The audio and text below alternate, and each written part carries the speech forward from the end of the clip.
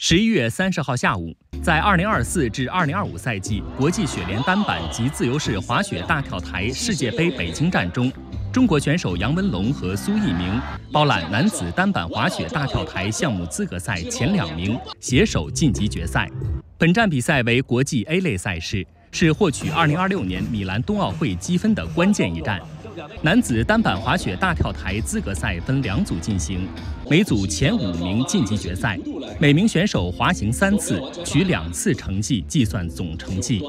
我没想到能拿到第一，但是我因为我知道我的，假如内转幺八和外转幺八都占了，进决赛肯定是没问题。这次比赛其实算是准备特别好吧，因为前两天公园训练的时候就是状态也特别好，所以今天就是把自己平时训练水平发挥出来，也是很开心。很开心能够去按照自己的计划完成这几个动作，只不过最后一个一九八零可能因为一些技术的原因没能够很干净利落的完成，但是还是能进入到明天的决赛。希望明天能够去吸取一些今天的经验，在明天做出最好的自己。此次是苏翊鸣继2022北京冬奥会和上赛季世界杯两次夺冠后，第三次在雪飞天亮相。苏翊鸣表示，回到这里比赛如同回家，站在出发台上很有力量。每次回到首钢对我来说意义都是特别的非凡嘛，就像回家一样。因为最大的一个梦想是在这片赛场上完成的，所以今天回到这里还是很开心。每次比赛呢，也能感受到大家对我的支持和爱，我也在出发台上很有力量吧。本场比赛，苏翊鸣和杨文龙的出场顺位十分巧合，分站头尾。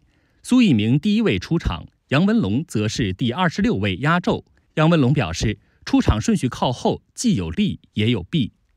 前面出场和后面出场都有利弊吧，因为你前面出场就是因为刚公开训练完事儿结束，然后你直接就可以比赛，所以前面这就是利。然后你让最后一个出发，就是可以看前面的运动员都做什么难度，再自己能调整一下。本届赛事的男子单板滑雪项目共有来自世界各国的五十三名选手参赛。赛后。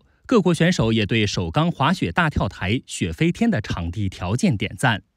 Yeah, it was really good. The the organization is really good. The jump is nice.